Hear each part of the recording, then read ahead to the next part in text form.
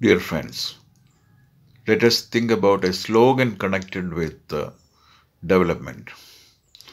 For all the three levels of development character level, creative level, and consciousness level the slogan we need is winners never quit.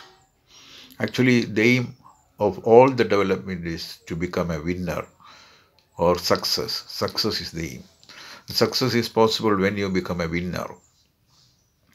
And uh, the nature of a winner is winners never quit. Winners never quit.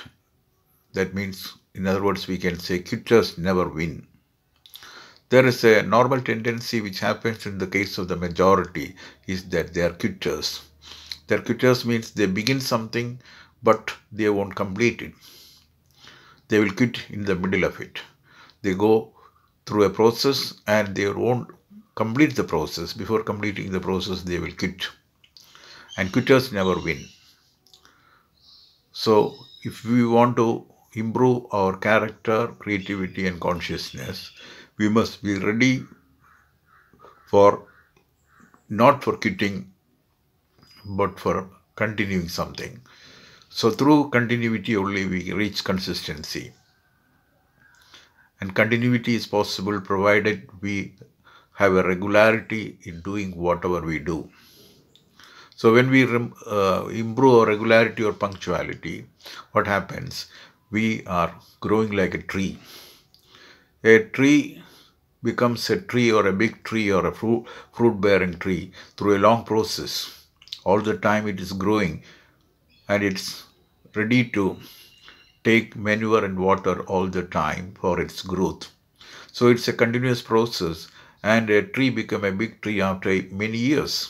So all the years, all the days, all the months, everywhere you find a continuous growth.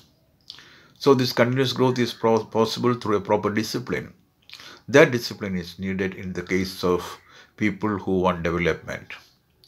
And if they want development, if they are quitters, there is no chance for development. So they must be winners. The winners are possible only when they don't work with quitting, they will uh, work with consistency or continuity. So continuity and consistency is possible provided we regulate our life with the discipline. So through discipline only we can win something and uh, a good discipline help us to become winners in life and actually winners never quit so we have to understand this and we have to make this our practice and when we can make this our practice we will never quit and we will always continue and we will reach consistency through continuity. So may god bless us to work with continuity and consistency and uh, may god bless us to become winners in life. Winners never quit